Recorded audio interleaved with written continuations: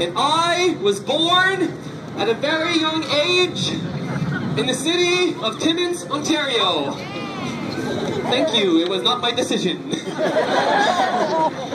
I moved here in Ottawa in 2002 when I was just 17 years old, fresh out of high school. I am now 29 years old and I've been doing this as a career choice for the past 12 years of my life.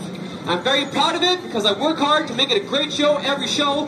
And ladies and gentlemen, I can honestly say that on a Tuesday night, I got a way awesome audience. I'm very, very proud to have so many people watching and enjoying the show. Thank you so much for being here. You guys are making my night. Thank you so much. You guys are great.